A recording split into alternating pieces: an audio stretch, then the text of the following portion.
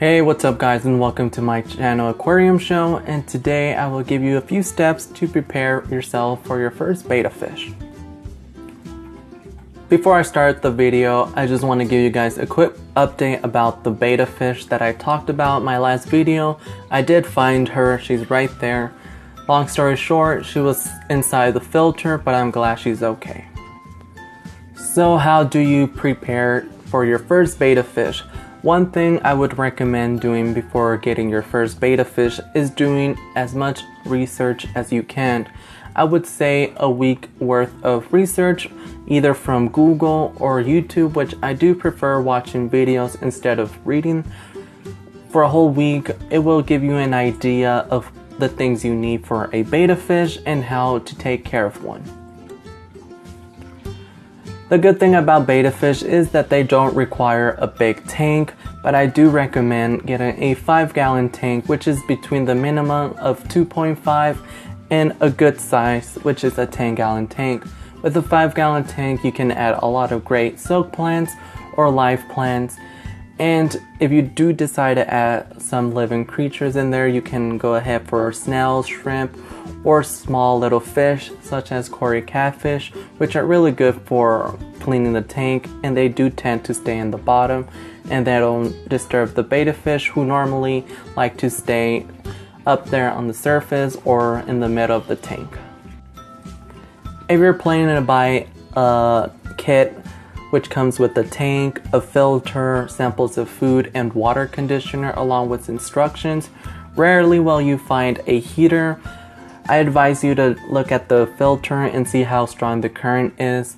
When it comes to betta fish, especially male bettas, which they do have these long fins, sometimes they will get stuck in the filter depending on how it looks. Most of the time, if the current is too strong, betas will lay in the bottom just to avoid the current. There are ways to lower it, which one thing I do enjoy doing is adding a sponge. I would normally add the sponge right here where the water comes out. That way the sponge will lower the current and your betta fish will be okay. This is another example. This is a turtle filter, but some of the filters for fish do come this way. I would add the sponge right there. That way the flow of the current will be lower and your betta fish will be able to swim better.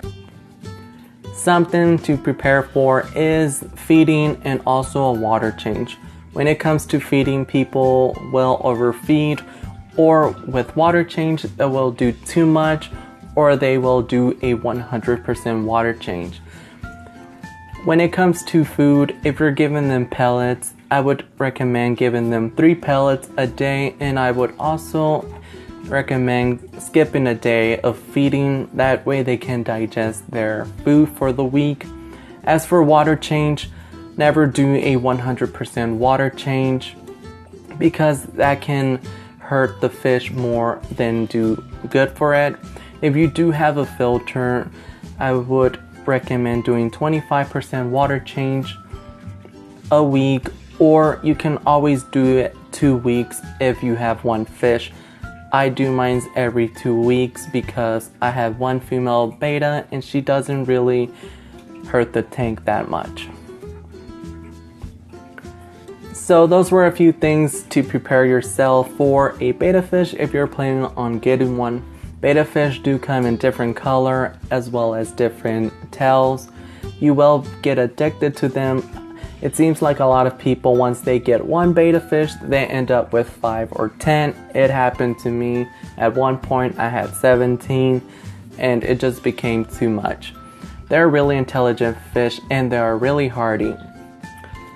If you found this video to be helpful, make sure to hit that like, also subscribe, and hit the bell to get notified when I upload my next video. I do have a list of videos that I am planning on recording for you guys. I was off for a few months, but I'm trying to upload as many videos as I can. If you want a shout out in my next video, write down the number of times I said recommend because I found myself saying it so many times. And for those that do drink, take a shot. Thank you guys for watching, and I'll see you guys next time.